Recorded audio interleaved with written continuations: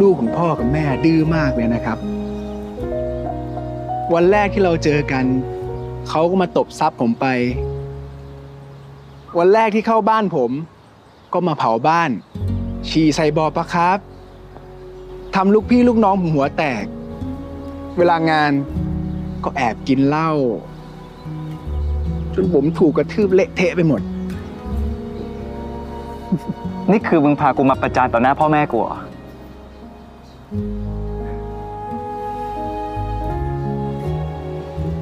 แต่ผมก็ไม่ใช่แฟนที่ดีเท่าไหร่นะครับทำเขาเสียใจก็หลายครั้ง แต่เขาก็น่ารัก ยังคงให้โอกาสผมทำให้ผมกลับมาเชื่อใจใครสักคนได้อีกครั้งจริงๆ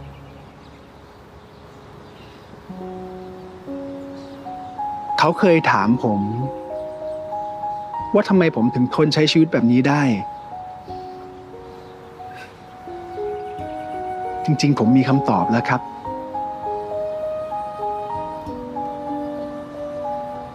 ขอแค่มีเขาอยู่ข้างๆ จะอยู่ที่ไหน ผมก็อยู่ได้ทั้งนั้น เสี่ยวว่ะ มึงไม่อายพ่อแม่กูบ้างเหรอ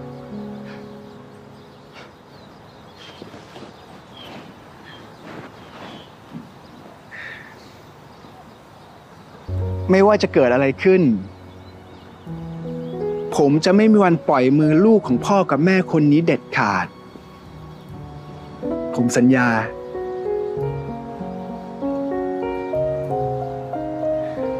มองไว้